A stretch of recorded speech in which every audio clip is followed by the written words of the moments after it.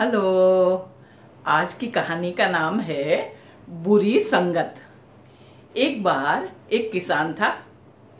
बहुत ही मेहनती। बड़ी ही मेहनत करके अपने खेत में तरह तरह की फ़सलें उगाता। जैसे ही फ़सल तैयार होती, उसके खेत के पेड़ पर एक कौवा रहता था। वो कौवा बहुत ही खराब था। जैसे ही फ़सल तैयार होती अपने सारे कौए दोस्तों को बुलाकर और फ़सल पर अटैक कर देता। सारे कौवे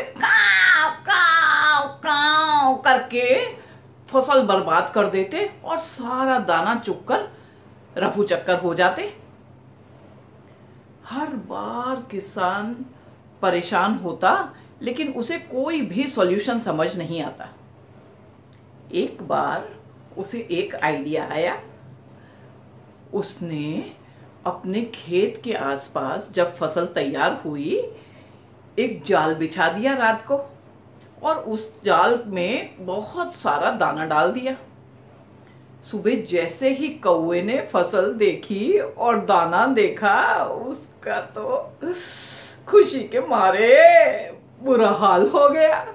फटाफट उसने अपने सारे कौए दोस्तों को बुलाया और जाल के आसपास जहाँ पर दाना पड़ा था, फटाफट सब आकर वहाँ पर दाना चुगने लगे।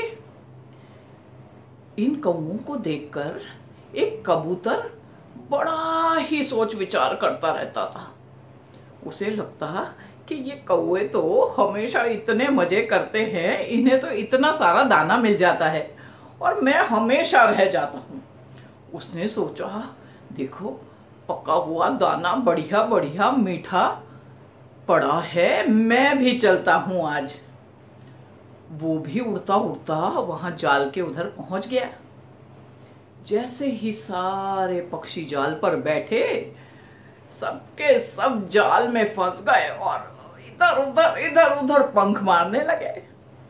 थोड़ी देर में किसान वहाँ आया, जब उसने सब कौओं को फंसा हुआ देखा, बड़ा ही खुश हो गया। कहने लगा, अब मज़ा आएगा। इतने टाइम से मेरी सारी फ़सल तुम बर्बाद कर देते थे। अब तुम्हें सबक मिलेगा। लेकिन जैसे ही उसकी नज़र कबूतर पर पड़ी वो सोच में पड़ गया। कहने लगा, ये कबूतर तो बुरा नहीं है, लेकिन इसे संगति का असर हो गया है। उसने धीरे से कबूतर को पकड़ा और जाल से बाहर निकाल दिया और कहने लगा, आज के बाद कभी भी ऐसा मत करना, तुझे मैं छोड़ रहा हूँ। बुरी संगत का असर तुझ पर हो रहा है। कभी भी बुरी संगत में मत पड़ना। बुरी संगत का फल बुरा होता है। जा, उड़ जा। और कबूतर को उसने छोड़ दिया। उसके खेत पर रखवाली वाले बहुत सारे कुत्ते थे। उसने सारे कुत्तों को उन क्रोज के ऊपर छोड़ दिया।